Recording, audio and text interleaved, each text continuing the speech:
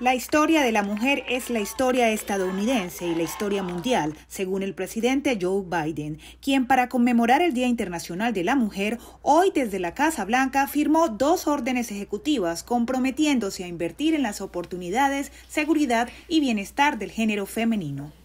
Mi administración también se compromete a garantizar que las mujeres estén representadas por igual en todos los niveles del gobierno federal.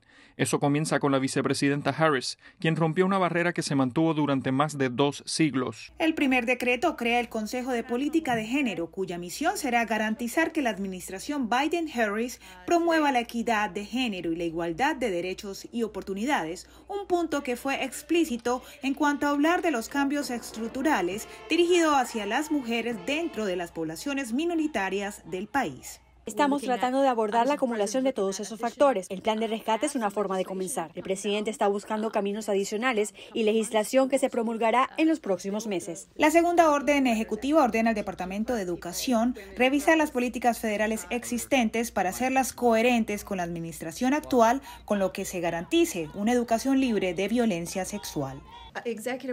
La orden ejecutiva pide al secretario de Educación que considere rescindir o revocar cualquier norma de inmediato y también hace que el secretario trabaje lo más rápido posible para tomar medidas.